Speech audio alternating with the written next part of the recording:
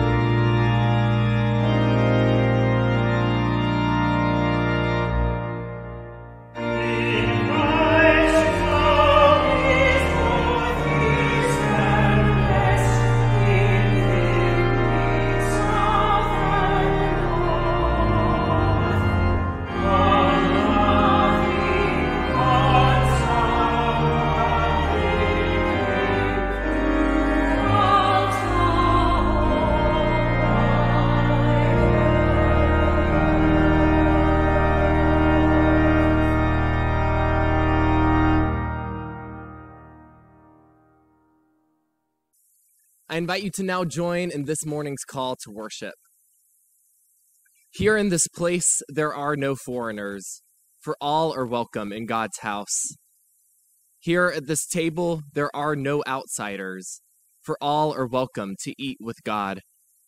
Here in this worship, there is only acceptance, for love is the language of our faith.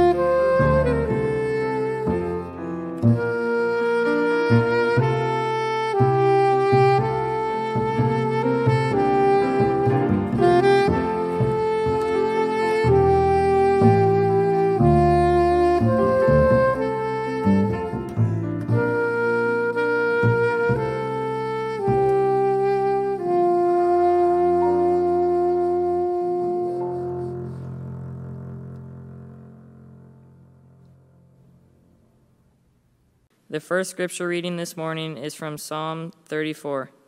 I will bless the Lord at all times. The praise of God shall be ever in my mouth. I will glory in the Lord. Let the humble hear and rejoice. Proclaim with me the greatness of the Lord. Let us exalt the name of God together. I sought the Lord who answered me and delivered me out of all my terror. Look upon God and be radiant, and let not your face, faces be ashamed. I shall call in my affliction, and the Lord heard me and saved me from all my troubles. The angel of the Lord encompasses those who fear God and will deliver them. Taste and see that the Lord is good. Happy are they who trust in God. Good morning, children. Jesus told us sacred stories called parables. Sacred means that something is extra special. Jesus was extra special. The stories Jesus told were messages about how to love God and love each other. Let us wonder how this parable helps us love. It was the most special invitation to a really big party. Lots of people were invited. I really want to come, but I have to water my plants, one person said. I really want to come, but I need to take care of my animals, another person said. I really want to come, but I am married and need to be home, said another. So many people were just too busy to go to the party. The host of the party was mad that no one wanted to come. The host had put so much work into making it special for everyone. The host then decided to send out more special invitations. Strangers were invited, poor people were invited, sick people were invited, children were invited. Those people that usually never get invited to the party were invited to the great party. God, thank you for inviting us to your big party. Help us to remember to invite others to join us. Amen. As we come to this time of prayer, you are invited to share any prayer concerns you may have by calling the prayer line or emailing the church at the information you see on your screen. Let us lift our joys and concerns to God in prayer. God of all, we hear in the century old hymn we sing Through Christ there is one community of love throughout the whole wide world. Yet how difficult it is for humanity to live these words we pray for empathy, seeking to understand ideas, people, situations, ourselves, our faith, our hopes, seeking, exploring the why of life, the why of who we are, seeking because we know that only by seeking do we go beyond ourselves to where answers reside, answers that we have never considered. Keep ideas, possibilities, dreams, hopes growing in and around us. Cause our attitude to change, to be invitational. Place people in our path that will cause us to grow and whom we can help grow. In this time where courage, patience, and measured guidance are needed, we pray for the leaders of our country and throughout our world. We pray for healthcare workers, medical professionals, and researchers. We pray for students, educators, administrators, and school staff. We pray for children and parents, adults who are isolated, people separated from families. We pray for each and every child of God, for we are all yours. God, in the midst of the heaviness of the day to day, when we open to your love, we realize we are also heavy with gratitude. You have blessed our lives in unimaginable ways. You have helped us dream new dreams for ourselves and our world. Grant us courage and surround us by faithful community so that we may actualize our dreams together. Grant us vision to see the glorious creation around us. As fall gives way to winter, may we pause in awe of the beauty. Grant us loving hearts that we may offer kindness, grace and care to each we encounter. Help us, O God, to empty ourselves of those things that hinder us from knowing the fullness of your love, and fill us with those things that tend to make us all that you want us to be. We need your presence, O Creator, and being filled with your presence, may we live as one community of love throughout the whole wide world.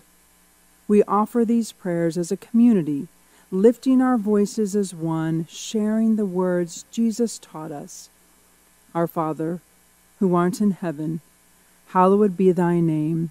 Thy kingdom come, thy will be done, on earth as it is in heaven. Give us this day our daily bread, and forgive us our debts as we forgive our debtors. And lead us not into temptation, but deliver us from evil. For thine is the kingdom, and the power, and the glory forever. Amen. As the leaves fall and rustle under our feet on these beautiful November brisk days, we're reminded that in nature, everything returns to creation to support the cycle of life. We do well to pause and think about our spiritual life and how it's been nurtured through the church and how we are called to participate in giving back to our spiritual community. That may be through one of our many ministries, it may be through our regular gift to the church, or it may be through a will or an estate down the road. Today, to financially support the church, you may use the text number that's on your screen now. You may use the red Give button that is on our pages on the website, or you can mail us a good old fashioned check. Let the offering be received.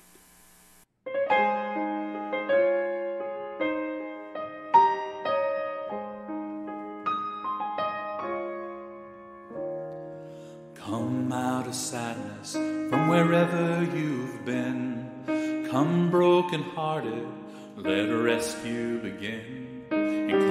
Find your mercy, O sinner, come kneel. Earth has no sorrow that heaven can heal. Earth has no sorrow that heaven can heal. So lay down your burdens and lay down your shame.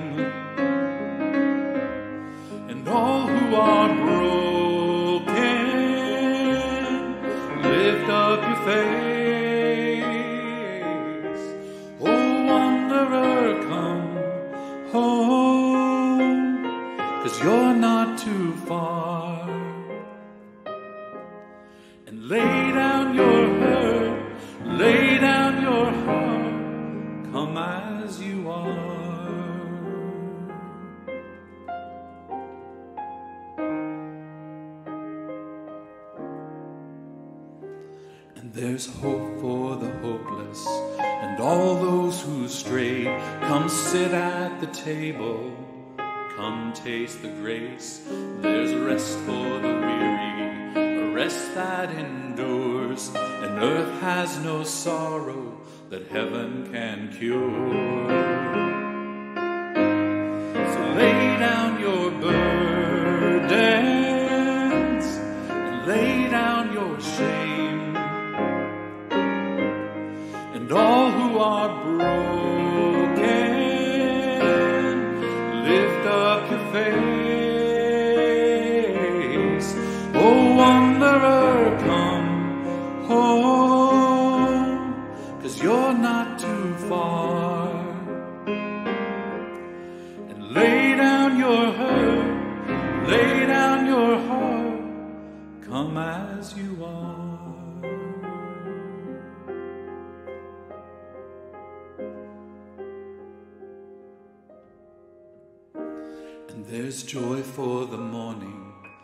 Sinner, be still. Earth has no sorrow, heaven can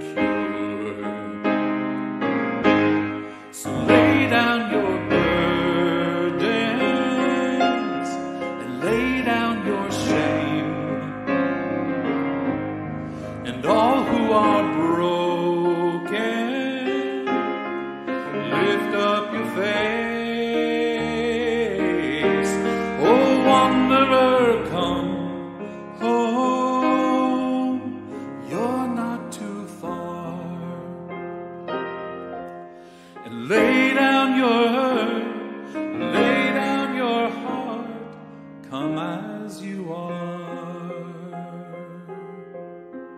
Come as you are.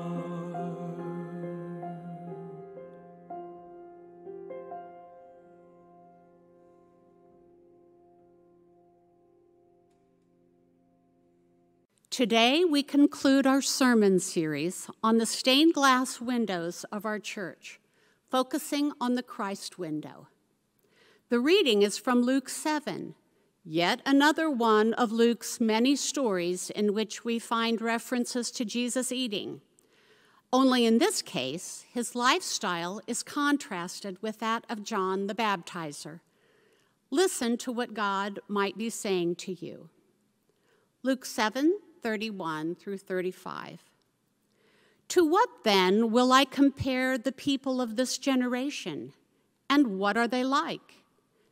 They are like children sitting in the marketplace and calling to one another. We played the flute for you, and you did not dance. We wailed, and you did not weep.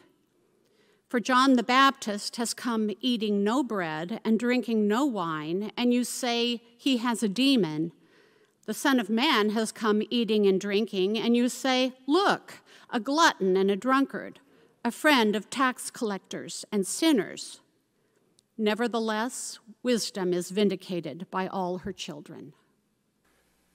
When I taught at the seminary, I used to tell my students in preaching class there are four gospels, and most preachers have one sermon. And both parts of that needed clarification.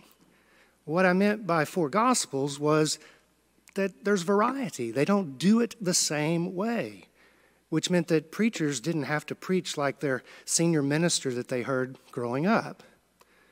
For example, in the Gospel of Luke, where we are today, Jesus tells parables all the time, early on in his journeys, some of them unique to Luke, they're everywhere. But the Gospel of John, where we were the last three weeks, not one parable. Variety. As for the one sermon, I didn't mean it literally, but metaphorically. The idea being that every preacher would have to find her own voice, her own style, her, her one message that would kind of be her passion and her ministry. When I think about the gospel writers, I think about Mark, who came first, and, and he's got his own style. He decides not to tell the story of the birth of Jesus. He decides not to have the resurrected Jesus even appear. And then Matthew comes along and he has a copy of Mark and he uses a little bit of it, but then he, he says, Look, you can't have a gospel without the birth of Jesus and, and without him showing up resurrected. And so Matthew's is different. Or as Carla said about the Gospel of John a few weeks ago, if you could summarize it in one word, it would be life. It's in the Gospel of John that he says, I'm the resurrection and the life, or I've come that they might have life. That's his one sermon. If you had to figure out what Luke's one sermon was, if you had to summarize the gospel in one word, what would it be? I think the clue is in the text that we read and in the window that we're looking at today. Over the past few weeks, we've had those videos up front at the beginning of the worship service that have testimonials about favorite windows. I'm told that the St. Cecilia window got the most votes. There may be a recount in effect, I don't know. But I loved Jackie's testimonial last week. She was referencing the window in the chapel and the Christ's hands and how she could imagine herself in those hands. We've had all those videos, and I, I started wondering what if we had recorded Luke out there on the lawn and asked him, So, what's your favorite window? We could bring him inside, socially distanced, with a mask on. That would be good for the apostle, right? And we would say, So, what do you think? And I'm pretty sure we would want to point him to these south windows where Luke has his own window. But here's my hunch I think he would keep looking at the chancel window. I think this would be his favorite. In part because there's the Christ with the right hand raised, in benediction. Preachers have been copying it ever since. But it's his left hand. You see it? He's holding a loaf of bread. In fact, if you had to summarize the Gospel of Luke in one word, I think it'd be bread or food or eating or something like that. I mean, if they'd put it up to us, we probably would have said he should hold scrolls in that hand. You know, maybe have Alpha and Omega on it, or maybe the keys to the kingdom before he hands them over to Peter. But no, he's holding bread. And in fact, except for two side panels, the whole window is about bread. Across the bottom, three panels of the Last Supper. Only it turns out it wasn't the Last Supper. Because in the upper right is the story of Jesus eating with that couple back in their home in Emmaus. And he's still eating with us.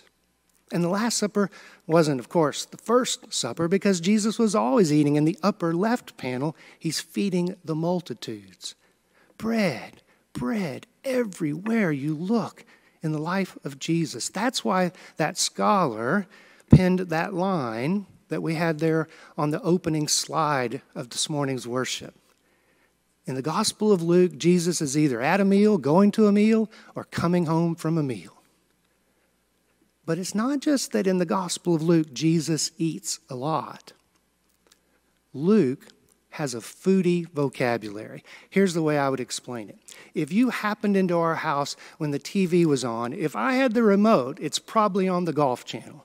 This week is the Masters. But if my wife had the remote, it's probably on Food Network. And you know, they have all those cooking shows, and they use so many French terms, so much of a cooking vocabulary, like a sous chef or mise en place or saute. All of them French words. Well, Luke didn't know French, but he knew Greek. In fact, his Greek is the most sophisticated of all the writers of the New Testament, and he uses, get this, 45 different words for food and cooking and feasting. It's everywhere. This is the Food Network gospel. So it's no surprise that when you get to this passage, there's a reference to food. What's surprising is how it's framed. It's the distinction made between the ministry of Jesus and his cousin, John the Baptizer. John is presented as an ascetic, which is just a fancy term for someone who lead, leads a monk like life. He, he doesn't indulge in the finer things of life, especially food. You remember what he ate, right? Locusts? They weren't dipped in dark chocolate. Jesus, on the other hand, is presented as one who feasts. And the way the contrast comes about is with reference to a children's game. They didn't have Nintendo back then, you had to be creative. So sometimes kids played a game called Wedding. And if you played Wedding, there should be music and dancing. And other times they played Funeral. And if you were at a funeral, you pretended to be sad. The ministry of Jesus is presented by Luke as wedding, as feast, as feasting on bread. But here's the real scandal of the text it is not that Jesus eats a lot, glutton and drunkard, but with whom? Friend of sinners was meant as an insult, but I think he wore that moniker with pride. The very next story after this, he goes to the home of a man named Simon, who happens to be a Pharisee. We would say an elder or a deacon in the church. But the dinner's interrupted when a sinful woman enters. Sinful meaning she doesn't observe Jewish law, she's not keeping the law. And Jesus is comfortable in the presence of both. It's only in Luke's gospel that Jesus eats with Pharisees, but he welcomes everybody. He does not feel the need to choose between the two. And just this week, that thought haunted me. I was taken back immediately to something that still bothers me to this day freshman year in college, you've heard me tell it before, is when I came to faith. Before that, high school, college, my life was it was about partying, drugs, a lot of drinking. Well, when I came to faith, this college group at the church, they took me in, and I remember telling them, oh my gosh, there's this great place in town that has some of the best nachos ever. We got to go there. And we loaded up and we went. And while we were waiting to get in, they saw this sign over the door. It said, Spirits served here. Well, all my friends in high school and before I came to faith, they would have told you that just means there's beer, and I hope there is because we're having nachos. But these church friends looked at that, looked at each other, and they saw nothing but evil, that there were evil spirits here. And the message that they sent my way was you, you shouldn't be in a place like this, and you shouldn't have friends who are in a place like this. And I took it to heart and I walked away from all my old friends. It was a big mistake. And it reminded me of a Craddock story. I, have probably told you this one before, but like I said, preachers only have one sermon. Fred Craddock, in the very first church he served, he was still in Bible college. And it was out in a rural place, and just a few families, almost everybody was related. They would come on Sundays, but then some big construction project came into the area. Maybe it was building a dam or some such thing. And so, you know, not all of those people that were in construction were church going, but a lot of them were. And out of that sprung up mobile home camp, here they came, some of them, on church, on Sunday to church. And, and after church one Sunday, they had an elder meeting. And the members of the board said to Fred, We got to do something about all these people coming to our church. And he said, I know, it's wonderful, isn't it? And he said, No, no, no. I make a motion. Unless you're a longtime property owner in this county, you can't come to this church. And Fred spoke against it, and they reminded him he was a preacher boy, and it passed. And years, years later, Fred and his wife Nettie were in that part of the state and they decided on a Sunday morning they'd see if they could find that old church. And they did. And the parking lot was full. Cars and trucks, motorcycles everywhere, and a sign that said barbecue restaurant, all you can eat. And they were hungry, so they went in. Why not? What had been a pulpit was where the hostess stood. How many in your party? What had been a table with bread and wine now had sauces on it and pickles and onions. And you sat on a pew while they waited for them to call your name. And finally they were eating, and Fred looked around at all these people. And he said, You know, it's a good thing this isn't a church anymore, else all these people couldn't be here. Who belongs at the table of God? One of those shows that my wife watches, and I, I really like this one. It's called Best Thing I Ever Ate. They have these celebrity chefs and food critics on, and there'll be a theme for the day. You know, like maybe it's dessert, and, and for me, it's got to be this New York style cheesecake I had at Eileen's in Manhattan. It's unbelievable. Or maybe they'll do something savory like best tacos. And for me, it's the street tacos at a little place called Taco Guild in Phoenix. That and their Mexican street corn. It's to die for or to live for. But here's the best part not just the food, it's in an old church. It's an old Methodist church that had gone under, but they didn't just, well, they respected the place. They, they respectfully repurposed it, is what they call it. They, they kept the door to the church, you enter through it. They kept some, or, or put some uh, shadow boxes on the wall with memorabilia and photos from the church. But best of all, they kept the windows, stained glass windows. And there's this one that says, Now you are God's people. Now you are God's people. I love that image because on any day of the week, any night, the crowd is this incredible mix former hippies and hipsters. third graders and retired. It's Phoenix, after all. Gay and straight. I mean, you get the idea. This incredible, diverse group. And here is this light shining through a window that says, Now you are God's people. Just last week, I read this New Testament scholar who compares reading the Gospels to looking through stained glass. And he does it so in two ways. He says, in some ways, yeah, you can see the story, whatever's being told, but you can see through a window. Not, not clear because it's stained glass, but you, you know there's something back there. And for me, behind this chancel window is a world. All of those people, God's people, welcome at the table. The other way he says is it's kind of like a mirror, though. I mean, you, you don't see yourself clearly, but you can. I picture us standing in front of this Christ in the window.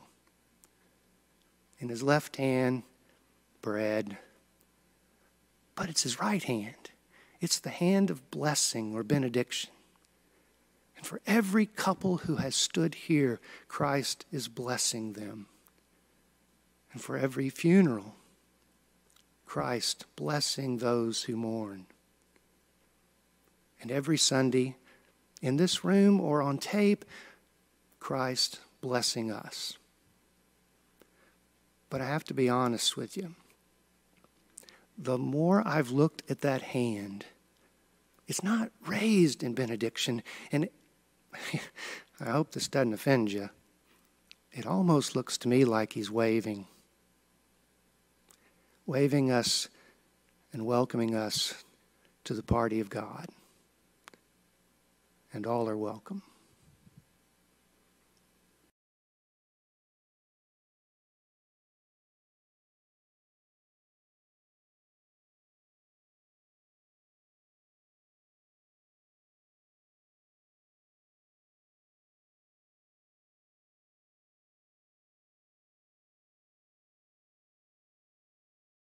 In some churches, you need to be a member of the church to approach the communion table and receive the bread and the wine. My sister's friend is married to a man who's a member of one of those type of churches. The wife is not a member, and she's never quite sure when they go to church what to do when it comes to the time of communion. One day, the priest whispered to her that it was okay, she could partake. And so she went forward and she held out her hands and she received the bread. But then, when she turned to walk back to her pew, she panicked. What if it was wrong? What if she shouldn't have taken the bread? And so she slipped the wafer into her pocket. And days later, she slid her hand into her pants pocket and found there the bread, a reminder of her own ambivalence. Am I welcome at God's table or not? Perhaps all of us wonder from time to time if God really wants us at the table. We have three reminders in our church that God welcomes every single one of us. We have the Last Supper carving in the parlor, we have the Last Supper carving on the front of this table, and we have the image of Jesus inviting us to the table in the stained glass window that is always over our table. It is specifically to you that God speaks when Jesus says, This is my body broken for you. And this is the new covenant of God's love poured out for you and for many.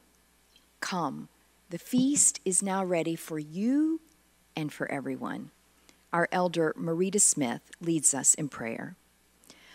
Loving Spirit, thank you for this table of bread and wine we know that in our joyful days and in our dark days, God's love is always manifested here. Thank you for the example of Jesus who taught us that all are welcome at this table. We know that Jesus ate and drank with many who were spurned by polite society, and that by doing so, he showed God's love for all. Help us to follow the example of Jesus so that we too can bring acceptance and joy to all of God's people. Amen. The gifts of God for the people of God.